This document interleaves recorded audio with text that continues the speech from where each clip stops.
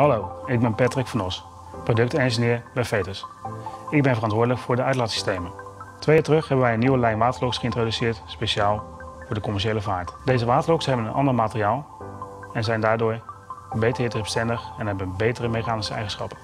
Om deze bewering kracht bij te zetten, gaan we nu naar de volgende test.